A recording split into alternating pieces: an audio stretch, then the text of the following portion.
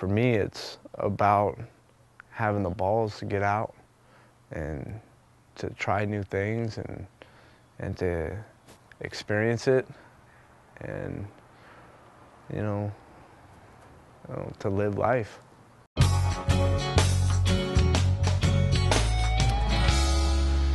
Why not end up in California?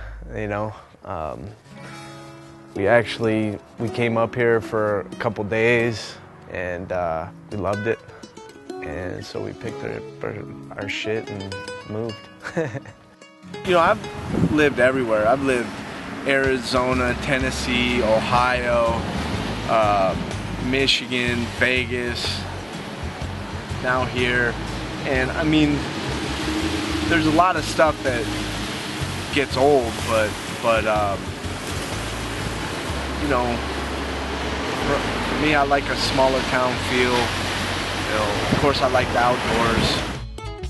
I was in Brazil for a while. I was up at AKA, been all over the place you know, for our sport.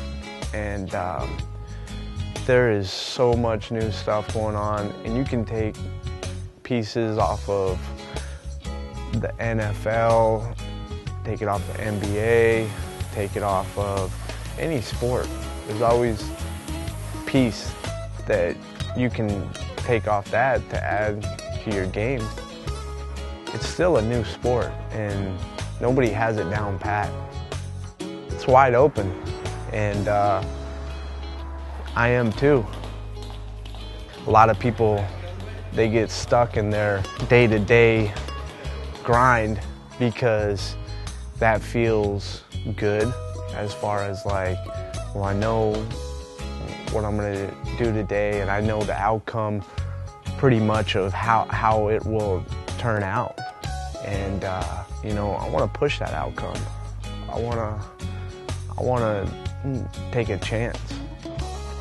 Gray has a background in wrestling at Michigan State, and uh, wrestlers typically are mentally tough. And Gray, I think, is more mentally tough than the typical wrestler. He's a guy that will do whatever's necessary to win. Uh, he'll do whatever's necessary in his training.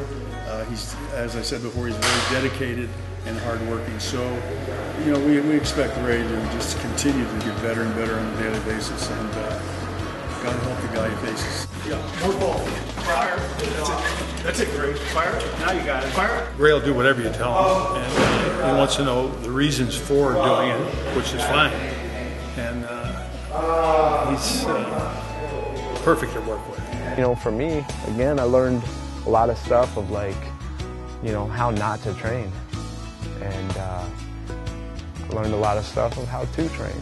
So you just, you gear it towards, you know, who you are and, and how you fight.